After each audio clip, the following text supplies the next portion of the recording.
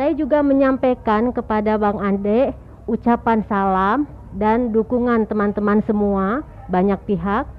Tanggapan Bang Ade, Bang Ade sangat terharu dan mengucapkan terima kasih. Bahkan beliau berpesan seperti ini. Semuanya agar terus berjuang. Jangan takut karena Allah akan selalu bersama orang-orang yang menegakkan kebenaran.